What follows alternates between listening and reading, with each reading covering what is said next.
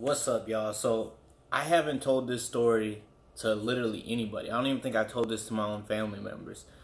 Mainly because I just, you know, put it away in my memory and I forgot about it. Um, so I gotta take y'all back. You know, Saturday night. I figured I'd give y'all something to, you know, entertain you. You said I'm a good storyteller, so I'm gonna give y'all some story, some more stories from my life. And you see the title, the time I was robbed at gunpoint. This is no bullshit. I didn't just click you, uh, clickbait you in. Come here, Fluffy. You see my co-host Fluffy right here.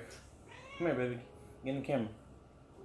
Yeah. So, anyways, this is the time I got robbed at gunpoint. So, I was. This was like, I was like 14, 15 years old. You know what I'm saying? It's like my sophomore or, or freshman year. Um. So, growing up I said in one of the comments, I moved, I bounced back from um, suburbs to the hood, to the suburbs to the hood, throughout my whole childhood. You know, um, I spent like a year here, and I spent a couple years in the hood. You know, so this was my hood here, and this is where uh, I had got jumped. You know, by those twenty dudes, same year. You know, or same, yeah, same. It was in the same year. Yeah, something like that. If you haven't seen, I got jumped by 20 guys. This is the same neighborhood. Now, the neighborhood I was in was a blood neighborhood. Um, me, like the blood gang, blood. If you don't know, for my people that aren't familiar with gang language, they were. It was a blood neighborhood. Um, now me, it was really hard for me to make friends or keep even keep friends because with me moving so much, uh, I wouldn't be at the same school. Like I went to a different high school every single year um, I wouldn't be, uh, I wouldn't stay in the same neighborhood for long periods of time. So it was hard for me to make friends. My mom, growing up, she put me through mentor programs, you know, um, like different mentor programs. I had a couple different mentors that I actually like, you know what I'm saying? They take me places. One mentor took me to his, uh, took me to my first football game ever. That's the only football game I've ever been to. Literally, I've only been to one football game my whole life. I don't watch sports, so I don't really care. But anyways, going through this mentor program, I met this dude. And me and this dude we were super cool. His name was uh Kareem.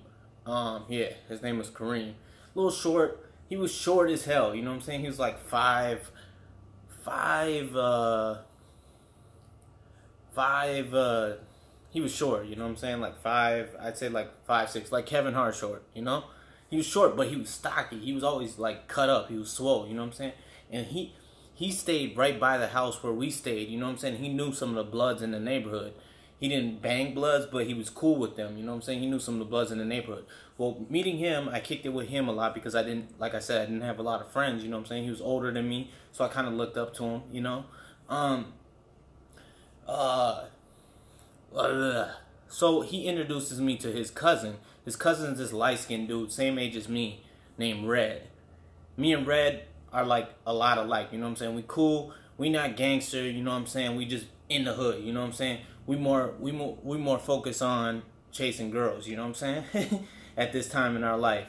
So, uh, but we hang out. You know what I'm saying? We we we look up to this dude Kareem because uh, he's older and he's he's cool with like the gangsters in the neighborhood. So we kind of cool with him. So me and Red get close. You know, Red lives like two blocks from my mom's house that we're staying. Um, so I always, you know, end up going over to Red's house and just kicking it with him. So this was uh, the starting of the new school year. We got new shoes, you know what I'm saying?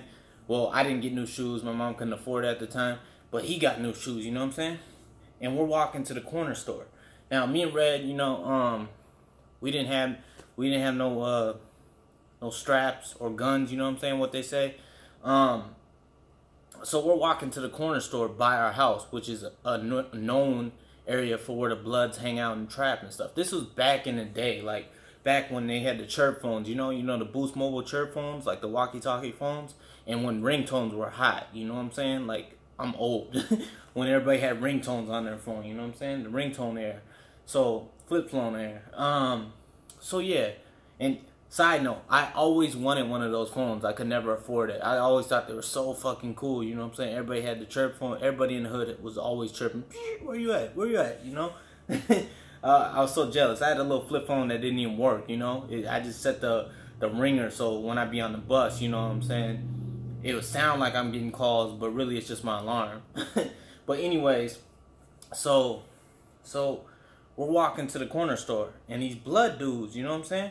They see us walking that way. It's like six or seven of them. You know what I'm saying? They're walking towards us. They're like the corner store would be like up the block, you know, and um me and Red we're walking, you know, up to the corner store. We're like maybe a block away. So these blood we see the blood dudes, we're like, damn, we just keep walking, man. We see them, we like keep walking.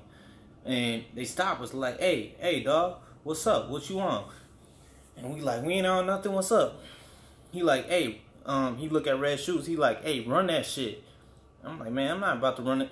One one of the blood dudes pulls out a nine, you know what I'm saying? Sticks it sticks it right right right towards me. The other blood dude grabs another one, grabs his waist, like, yeah, run that shit, you know what I'm saying?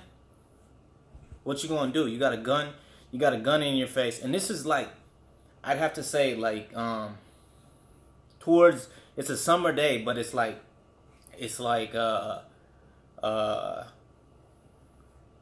it's like almost night, you know what I'm saying? So there's not a lot of people that can see, you know, it, it, the sun's kind of down.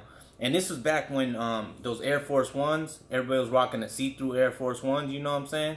Um, that was hot back then, you know? Um, and he had some fresh shoes on, man. He had just got these shoes. Stuck the gun to him and said, hey, run that shit, you know? What you gonna do? I couldn't do shit, you know what I'm saying? We couldn't do shit. We ain't had no gun, we ain't had no knife, nothing. It's six of them, two of us, you know? So he took his shoes off, you know, took his shoes off and gave it to the dude. Then he look at me, run your pockets. I had some busted ass shoes, so they didn't take my shoes. You know what I'm saying? All right, man. You know, go ahead, take, go ahead, check my pockets. I ain't had no money. You know what I'm saying? I was broke back then. You know, so they run my pockets and they like, all right, we better not catch you on a block or around here again. This blood neighborhood. You know, sue whoop, all that shit. You know, and they they walk off. You know, and um, I think this this was like I can't remember if it was it was a couple months before or I think it was after I got uh jumped by them dudes. I can't remember. I think it was after I got jumped by them dudes, but a couple months after, you know? Um because I used to be like, you know what I'm saying? I used to be cool with them, you know what I'm saying? Like a couple of them like I knew them and shit, you know?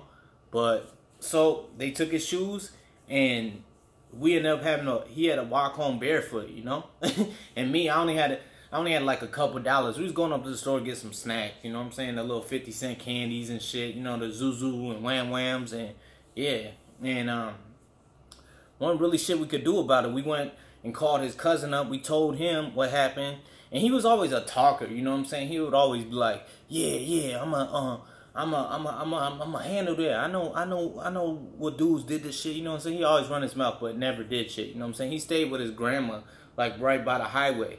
And actually, the park where I got jumped is where Prince used to go to school at. I guess you know. Fun fact.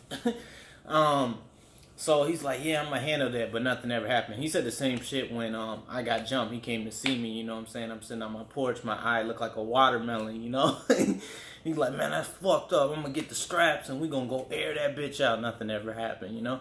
And yeah, we just had to take take that L. You know what I'm saying? What you gonna do? You got a gun in your face. You gonna be like, oh, oh nah, I'm a I'm gonna punch this dude, you know, or not give it up and risk your life over some shoes and a couple dollars, you know. So yeah, he he he ended up walking home barefoot, well with the socks on. Luckily, we only stayed like four or five blocks like four or three blocks away from there. So yeah, and yeah, that's the time I got robbed at gunpoint.